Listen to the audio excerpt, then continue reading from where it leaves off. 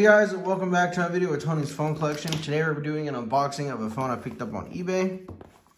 Um, I already have a couple of these actually, but this one came with the box.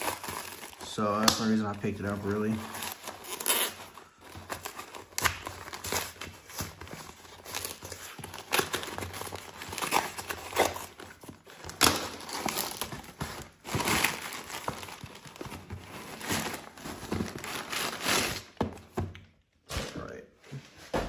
Here it is, the Motorola KRZR K1M with Alltel, which like I said, I already have a couple of these. But this one has the box. So here's the phone, the battery, and the charger. And this should be the gray color.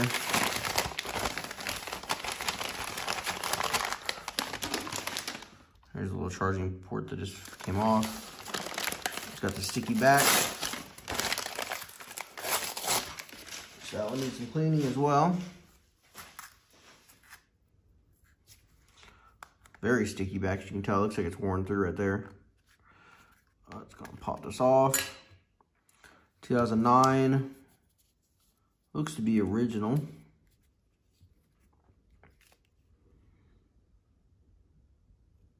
Isn't dead. Doesn't have the Motorola logo down here though. So maybe it is refurbished. Does have a cracked uh, front display.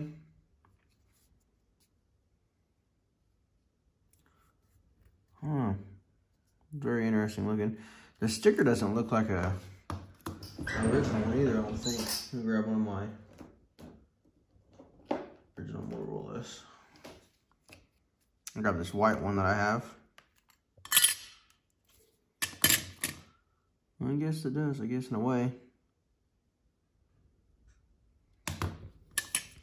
Just looks kind of weird to me. Yeah, that was a quick unboxing. Hope you guys enjoyed it. And stay tuned for the next one.